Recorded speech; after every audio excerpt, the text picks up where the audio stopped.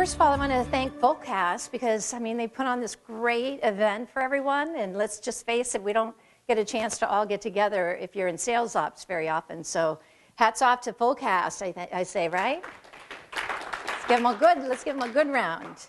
We're going to talk today about the sales technology stack. And believe it or not, I don't think technology really matters a whole lot. I think what really matters is that you figure out what are the ways that are, are the different things that are causing friction and keeping you from selling. And when you figure that out, then you can figure out the technology that can help with that. Okay, but what, what I'm going to talk about today, first, a little bit of background. Um, I come from the sales world. I've sold for my entire career. I started in Silicon Valley, not far from here, actually. Um, was for a, a, the world's first laptop computer manufacturer, known as Grid. And it was located on Garcia Avenue, which is where Google is now. And we were right across the street from another startup called Sun Micro. So I've been in sales for a long time. I've actually uh, sold for large, uh, sold two large enterprise accounts like Microsoft and Intel and HP. And about 10 years, 10 years ago, I decided that I needed to start my own company. So I did, and it was to track what's going on in the sales tech world. Now, what was going on in the sales tech world 10 years ago is very different than what's going on in the sales tech world today. Um, about a year ago, I just launched a second company called Vendor Neutral, and Vendor Neutral is designed to help match the priorities that you have as an organization to the technologies that are available to meet those priorities. I want to start by talking about the paradox of choice. Did anybody read that book? You heard that book? Great book. Uh, we always think that if you, the more choice you have, the better, right? We all want to be able to choose from a lot. But in reality, less or more can be less. So I'm going to talk about that and why and what that has to do with technology. But these are the things that I am seeing out in the sales tech world, okay? So, for one, is this whole notion of the paradox of choice. We're up to 600 different sales technologies. 600. So, as a sales ops provider or practitioner, how are you supposed to make sense of all that? It's very difficult. You have your own job, by the way, as well. So, we're going to talk a little bit about that. I also am seeing that there's a huge proliferation of point solutions. As I mentioned, there's 600 of them. So, how do you keep from having the shiny object syndrome? A lot of times, what we do is we feel a pain. You know, either your house is on fire or the foundation's cracked, and you kind of uh, prioritize based on what is the most painful. That can be the shiny object syndrome. Because if you're just kind of going, oh, this is important, this is important, and this is important, and you know, kind of running back and forth, you're not really stepping back and looking at things from a strategic perspective. And that's what I really advocate for, is to try to stop, get out of the weeds a little bit, elevate yourself up, and think about it again from a strategic perspective because that's what technology can do for you is give you a strategic advantage but only if you look at it from a higher level okay and one of the problems is that um, you know not many companies have the you know can, can actually do that because they don't have anybody who's in charge of it. And that's another problem, is who's in charge? So these are the things that I'm seeing, and I'm going to take you through. I do want to go back to that paradox of choice. Um, one of the studies that they mentioned in the book was called the JAM study. And some university uh, researchers went to a high end grocery store and they decided they would test this whole choice concept. So, in one experiment, they offered 24 different jams. In another, they offered six jams. So, would anybody like to guess at how many or which, which experiment drove the most purchases? That's right, six. So, although the 24 jams attracted more shoppers, right, because it's interesting, it's got, wow, look at all these jams. This only attracted 40, the, the uh, 24 attracted 60%. 30% of shoppers bought the jams if they were, they were only presented with six. 3% bought when they were presented with 24. So think about your own you know, industry and how many offerings and, and, and competition there is for choice. in your own industry and think about how you can simplify. But when it comes to sales technology, this is what we're looking at here. And I would ask how many of these companies are you talking to? Probably just a very small fraction, if that. Um, so, what I want to do today is help you figure out a way to make sense of this. How do we start? Where do we start? And I mentioned technology doesn't matter. So, don't start with the technology, although the temptation is there. So, I'm going to I'm going to tell you how you can identify the technology gaps that you have. But what I really want you to do after that is take a look at what are your capability gaps. And then you can ma- match those capability gaps to the technology gaps.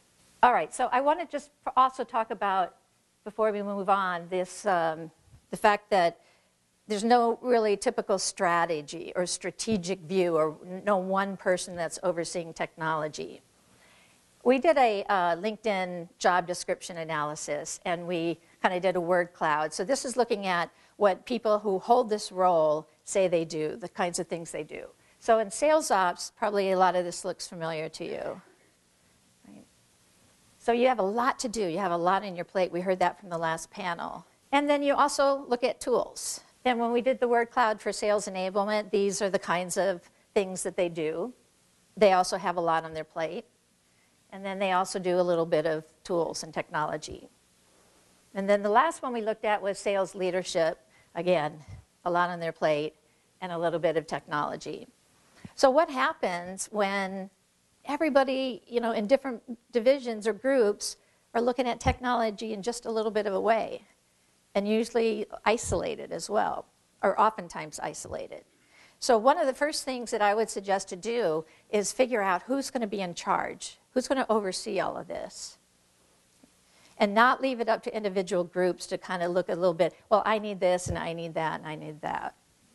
Here's the thing though, that everybody has the same um, objectives, right? We, we saw all of those different solution providers. There's just as many problems to solve. So you have to figure out how am I going to solve, or which problem should I solve first? Which are the important ones?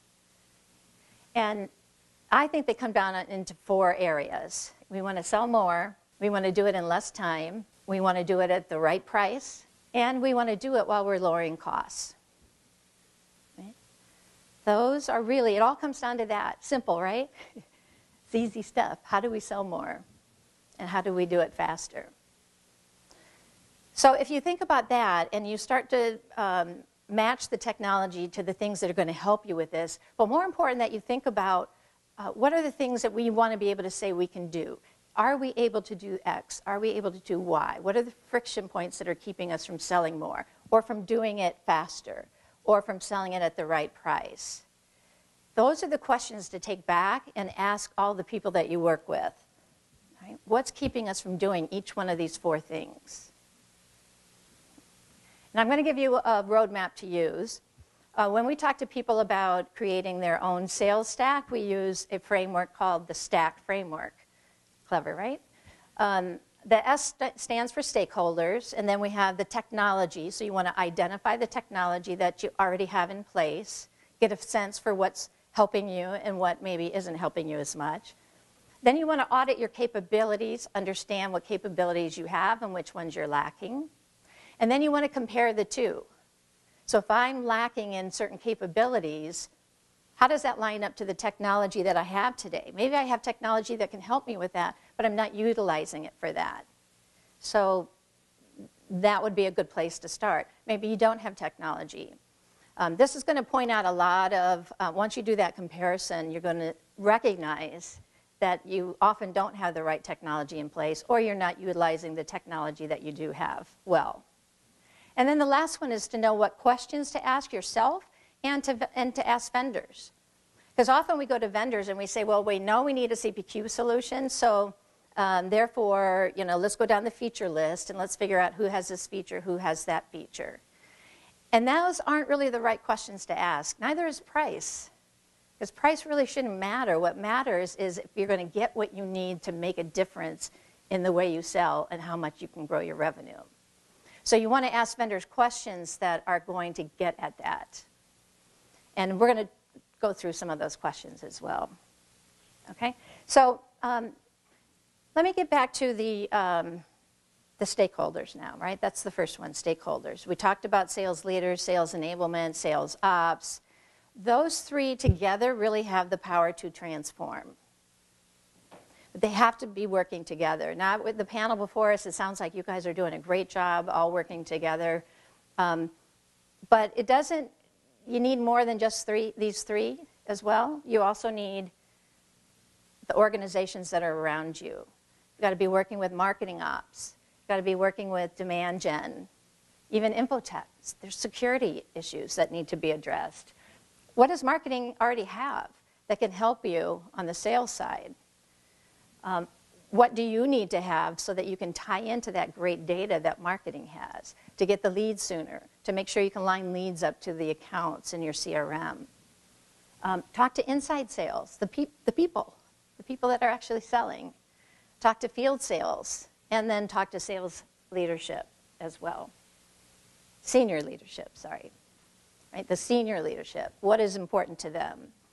And then figure out when you're looking at, let's say CPQ, I always tend to use that as an example, um, you know, how does that have to tie into your finance, finance department? Um, how's it going to impact people? Who's going to have a say? All of these people are going to have great ideas that they can contribute that are going to help keep you from making a mistake on the technology decision.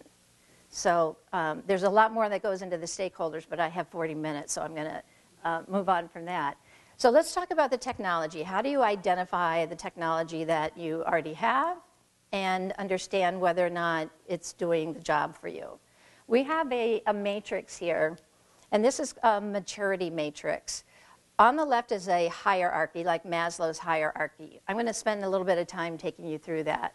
And then across the right are the different belt levels. So that gives you a feel for what is your maturity level as an organization. Um, now, the pyramid, no, can you read that black? It's a little hard, isn't it? Um, the very bottom level, now on Maslow's, I'll just remind you that on Maslow's, the most important fundamental need is to stay alive.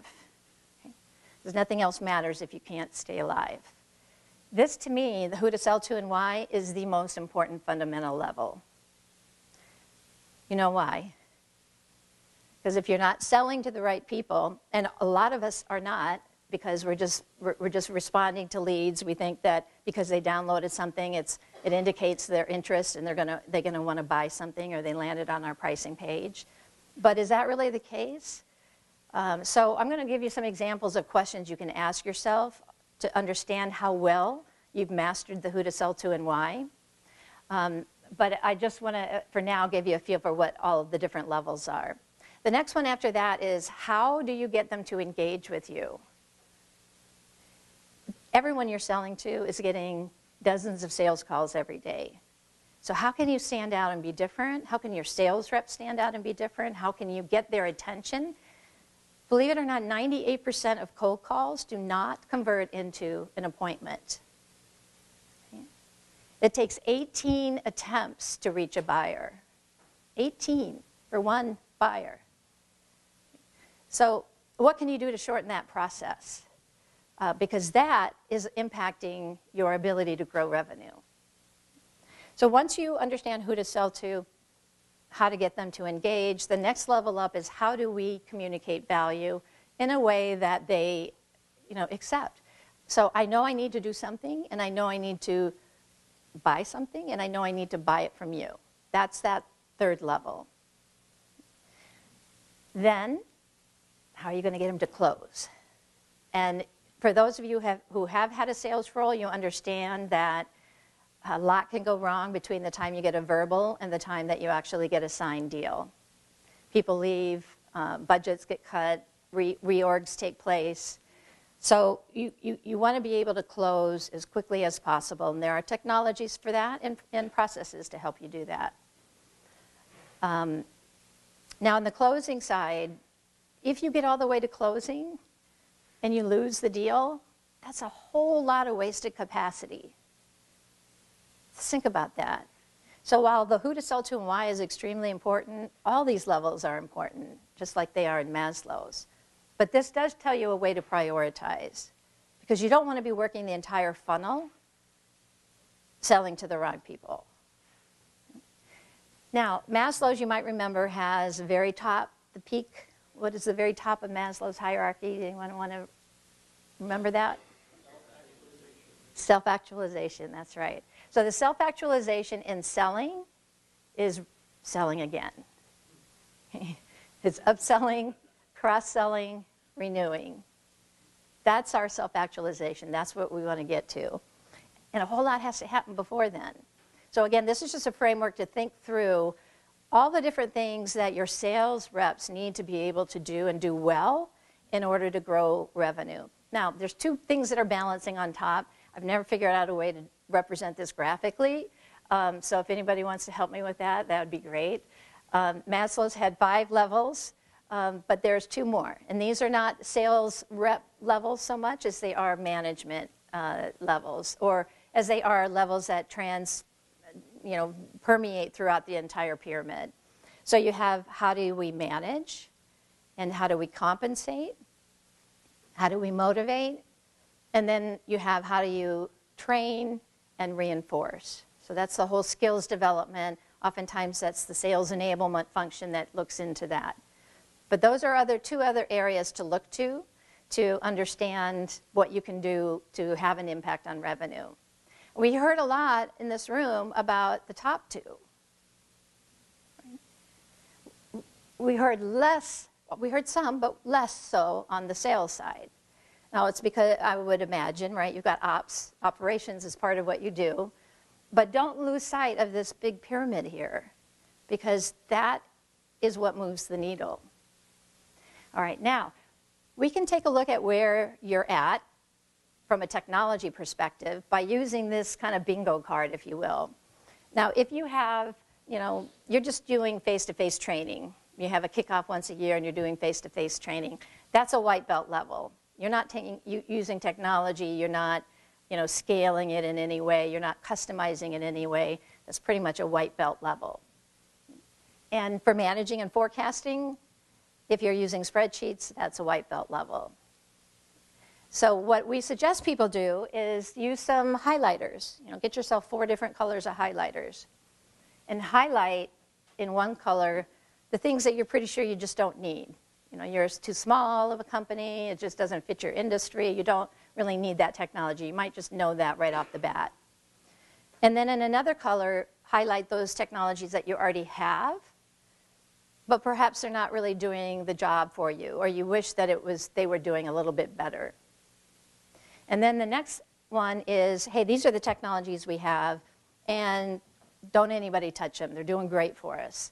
We really got to make sure that you know nothing happens to these. They're working, firing on all cylinders. And then the last one is those things that you need. So there's a lot of red here. Now what do you do with all of that? Well, this is where the pyramid comes in because we want you to prioritize. And as you see, sell more and again. There, in this example, there were three things that you felt you felt that were needed, right? On the who to sell to and why, there were three things. So now what do you do? Well, who to sell to and why is the most important. That's the highest priority. So our recommendation would be to sell to start there. And if you can, if you can do all of them at once, that's great. But we would start there and solve that first problem first. And then instead of doing the who to sell to, or selling to more, selling more, sorry, which one was it? Sell more and again. Um, you might notice that there was one need down here on the next second level. You might also want to address that one because that's the next level up in terms of priority. So again, it's just a framework to think about the technology you already have, how to prioritize what needs to get solved, but it's very much a technology driven approach. So the next thing we want to do is look at the capabilities. Oh, by the way, this one is one that everyone's quite interested in. I don't want to forget this one. Um, we have done a number of assessments, over a thousand. Okay? Now you are in Silicon Valley, right? You're, you're going to be much more ahead of most of the country, perhaps the world, on where you're at in ter terms of maturity. Think about what the typical maturity might be, because I'm going to show you in two seconds. So if you're selling sales technology, you know, you got to realize that people that are out there aren't as sophisticated. They don't know as much as you do. Um, if you probably in this room already are further to the right. But what I hear a lot is that people say, uh, I feel like, you know, there's so much technology out and we're just not taking advantage of it and we're behind. So what this says is you probably aren't behind, but the other thing it says is you should do something now because now is when it'll be a competitive differentiator. It won't be when everybody moves to the right. All right. So how do you prioritize the technology? Uh, we did a research study on uh, the use and purchase and, and anticipated purchase of technology. And what we found is there were four pillars, four solutions that a majority of the respondents said that they had and valued. And that's what they are. It's e-signatures had 42% of the respondents said, hey, we, got, we use e-signatures. 76% said they use CRM, no surprise there. Maybe a surprise that another 24% aren't using CRM. 68% uh, online meetings, no surprise there. And then the lead list building. So that makes sense, and it matches up to, to um, the belt levels, right? So if you don't have one of these, um, that might be kind of a no-brainer to think about. It might not be, depending on your company, but this you wouldn't be uh, wrong to think, well, maybe we want to start with these four. And they didn't, they're not favorites by a small amount either. We asked about 26 different technologies. And as you can see on the, on the left, a significant difference in the use. So when I showed you, in, for any VCs and investment companies out here, um, when I showed you those 600 solutions, um, and you see that four are being used and the rest not as much, that tells you there's a lot of room for market growth here. Just, just so that you know on the marketing side, that technology landscape has close to 7,000 7,000 uh, tools on it, technology types, companies, logos. Ours has 600, so that's one-tenth of the size. It's going to be growing tremendously, and there's a lot of acquisitions and investments already taking place. It's only going to get worse, it's only getting harder. Um, all right, so the third thing is to audit your capabilities, and I, I made reference to that. So how do you go about doing that? Well, I put some ideas down here for you to look at. So when it comes to who to sell to and why, you can ask yourself, can we identify our total available market? I can't I remember a time when I started new at a company, and the first thing I did was I wrote down all the companies I could be selling to, and the ones that aren't buying yet and should be, and the ones that are buying but should be buying more. And my manager said, God, that was really great. Can you show the rest of the team how you did that? And I, I just remember being shocked, right? It's like, well, one, why, is it, why does this seem to be unusual? And two, why am I doing it? I should be spending my time selling. So you might want to think about, you know, taking this off your hands for your reps, and that, that might be where marketing ops comes in. But identifying what's the total available market. That'll also help you with your forecasting. Um, and then also not just depending on leads. Well, I want to know what my ICP is. Who's my ideal customer profile? Of all these 4,000 leads I just brought back from the trade show, which ones fit that? How should I prioritize? Uh, you don't want your sales reps to just go off and start calling from A to Z these 4,000 people. It's not a good use of sales capacity. So you can ask yourself these questions. Can I identify total available market? Can I prioritize selling effort? Can I target all decision influencers? And you can add to this list. There's, there's a lot more. We have about 140 different capabilities that we've identified. How to engage and when? Can I build interest and momentum? Can I get prospects to engage? And that means, can, will they open my emails? Will they accept my phone calls? Can I know what works and why? Uh, so again, those are just questions, capability gaps. Why buying from you? Can I align the buyer's needs with our solutions? Or am I just pitching products? Do I know how to do that? Do my reps have ready access to information that will help them understand what this particular buyer might need? versus another particular buyer. That's big on the sales enablement side. Matching up content that's going to be relevant for that particular buyer based on their industry, company size, et cetera. How to close. Um, can I identify referrals? Uh, when I was carrying a bag, it'd be like, hey, Mike, do you, do you have anybody that my customer can talk to? And if you have and you're selling a product, maybe it's a high end, complex product, it's got a long sales cycle, people don't want to make a decision easily, they're, they're a little nervous about it. Referrals can be very important. Are you making that easy for your salesperson to get? Are you able to generate contracts that you know aren't going to bounce back because you did the pricing wrong or you missed the configuration or you didn't do the terms right. Sell more and again, can you nurture those customers? This is, this is why customer success has grown so big as a market. And it'd be interesting to see in the room how many of you have your customer success team in charge of renewals. So they actually have a sales role. Okay, so that's, that's new. I mean, that's relatively new to do that.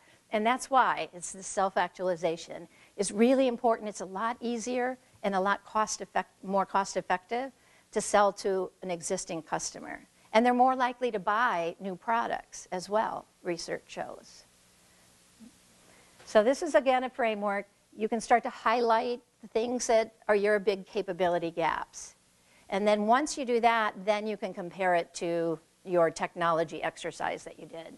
Can you auto roll up the forecast? A lot of people think, well, I just need my CRM and it does my forecast for me.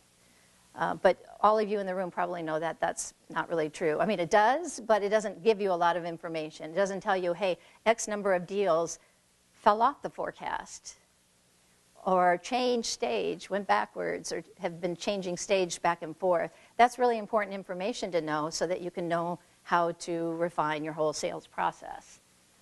And then learning, um, you know, reinforcement. There's a lot of great tools now that will help you onboard a sales rep a lot faster.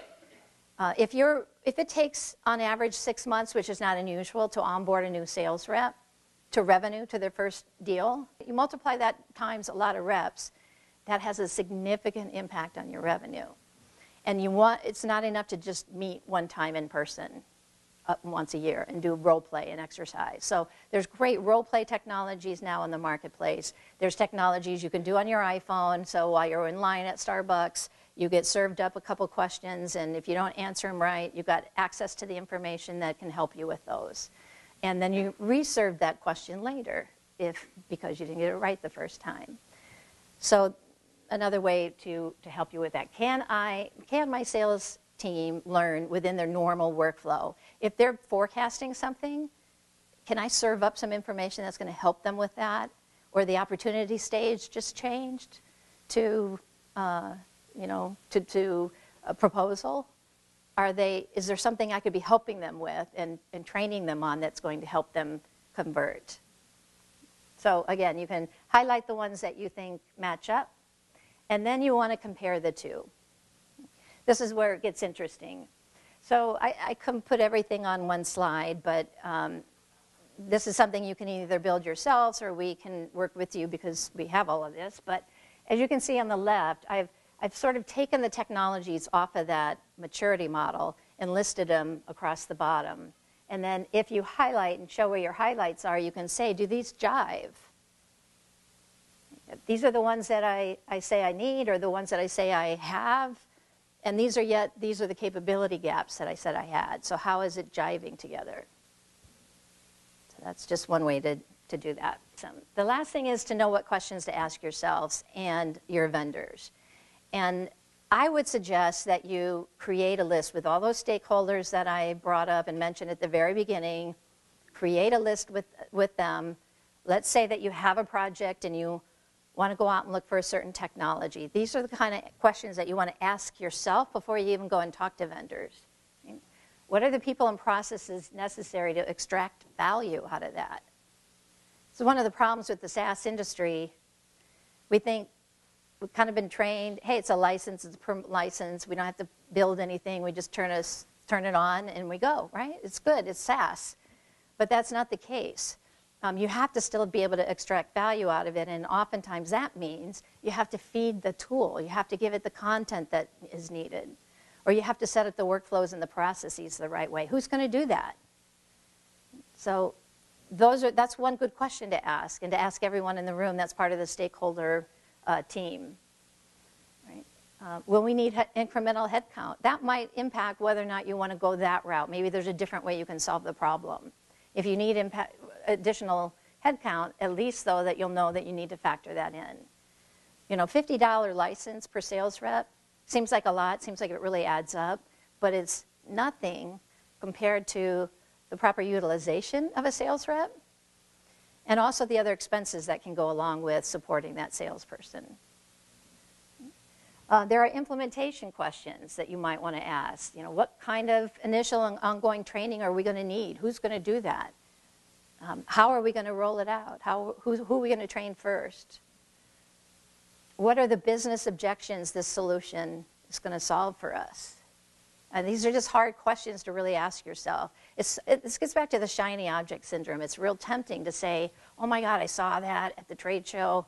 And we can get our reps sending out, you know, massive campaign emails to all of our clients. And so you just want to get it done because you think it's going to impact sales. And it probably will a little bit. But in the end, um, it could, could not be ideal. So these are the things that you really want to uh, ask yourself ongoing costs to support, uh, what's the business problem we're trying to solve. How much of the solution will we use? That's a good one because a lot of times, you know, I mentioned all these point solutions, 600. Some are point solutions, some are platforms. We think, well, we really need a platform, and that's what the vendor will tell you too. You need a platform. They're just a point solution. So make sure you get a platform and then you realize, I, I, don't need that other part, or we're not going to use it for another two years. And by then, we'll outgrow the system we're on. So we don't, we can go with the cheaper one, the less expensive one, the one that just does the thing we need it to do right now. All right, and then questions to ask vendors. Know, it's easy to uh, start to, oftentimes what we do is we just go and we build up a feature function list and we, we start to compare. I get asked that all the time. Do you have you know, comparison of this vendor versus that vendor. And I don't and I, I won't uh, put that together, although, you know, it's useful. I give you that. It is useful. But it's not the only thing, and neither is price, as I mentioned earlier. You really want to talk to them and get a feel for uh, what makes their customers successful versus the ones that haven't been as successful. What are some best practices that you should do as a potential prospect when you're rolling out their solution? So, you know, really dive in and, and think about what's life going to look like in the first 30 days, in the second 30 days. Have them tell you that. Have them tell you what questions you should be asking. That's a good one. I always like to do that. And, you know, if you have a good rep, they'll tell you some of these. If you don't have a good rep, they'll say, well, does it have this function? Does it have this feature? And that might be a good indicator to say, maybe we should go a different route. All right, so in summary, the tech space is really crowded. It's confusing. You're not alone if you're wondering how to make sense of it all. Um, there is a way to figure it out. Right? You want to take a look at you know, what your current situation is and your capability gaps. Really think about what role you're going to play from a sales op perspective. Could you be the one that says, we're going to raise our hands and we're going to suggest that we own this? that we're on this process? Um, or should it be somebody else? Should it be somebody that's oversees all of it? That's a question every company has to kind of struggle with and think through. And then uh, keep the four drivers in mind as you're looking at things. Is this really going to help us sell more? How's it going to help us sell more? Is it going to really help us do it in less time? Is it going to add to the time? Add to the time. By the way, CRM just random thought here. CRM is not a productivity tool. It's actually an anti-productivity tool. and the reason is because it takes up more time than it gives the rep back. It's not to say it's not useful and it's not important. You need it for sure, but don't think, well, I got this, so now we have a productivity tool for sales reps. I encourage you to look at, someone mentioned it on the panel, look over their shoulder, spend a day, a week watching the reps and how they engage and interact with CRM. and you'll find real fast why they're not using it and why you're not getting the data that you need and you're not getting the ROI back from the CRM.